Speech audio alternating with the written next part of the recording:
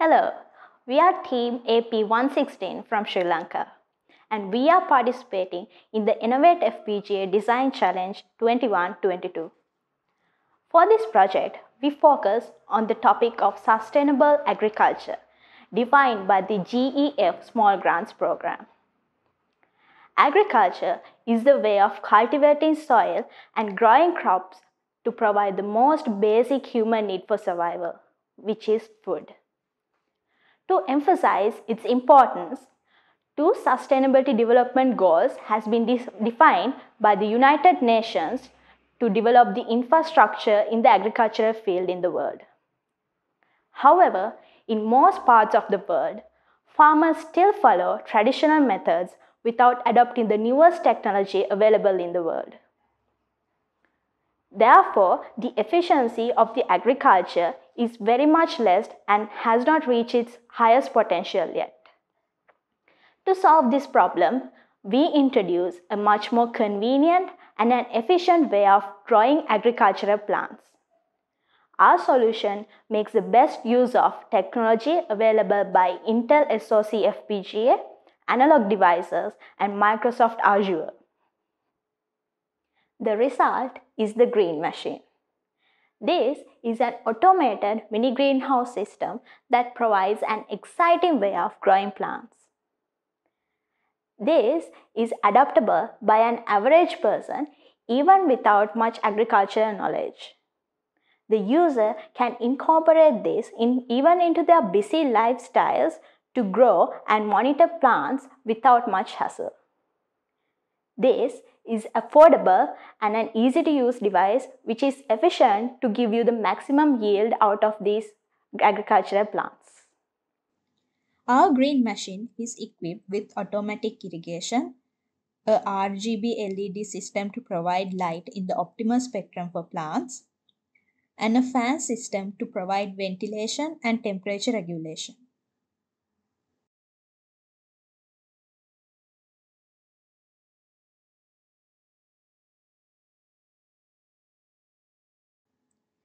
Our system also tracks the plant quality and growth using images taken from two cameras and processed at the edge. Additionally, our system tracks the soil and environmental conditions using a set of several sensors. Soil pH sensor, soil moisture sensor, light intensity sensor, CO2 sensor, and temperature humidity sensor. The soil pH sensor and the moisture sensor are connected to the CN0398 board by analog devices. The process sensor readings are sent to an Arduino Mega board to which the other sensors and cameras are directly connected. The sensor and image data are transmitted to the DE10 Nano via Bluetooth using the HC05 module. Based on the control signals received from the DE10 Nano, this microcontroller turns on and off the fan and the sprinkler system. The sensor and image data obtained from the Arduino Mega are processed at the edge using the DE10 Nano. The communication is established by a second HC05 module. By using Bluetooth, we can connect multiple units of green machines to the same DE10 Nano controller. The complete design scheme of our system is as follows. The computation is done at the edge using DE10 nanoboard. The Arduino Mega sends the image and sensor data and receives the control signals for the actuators from the DE10 board via Bluetooth. A UART transmitter and receiver is implemented on the FPGA using Verilog for this communication. The received sensor data are written into the physical memory of the SoC. The main control algorithm is implemented on the HPS using a C program. This program processes the sensor data and feed the image data into a neural network to detect abnormalities or diseases in the plants. This convolutional neural network is implemented using OpenCL SDK for FPGAs. The sequential host program runs on the HPS while convolutional kernels are created for computational acceleration within the FPGA. Based on the sensor data and the classified images from the CNN, the program determines the requirements of water, light, and ventilation and sends necessary control signals to Arduino via Bluetooth through the UART. This process is repeated in specific time durations.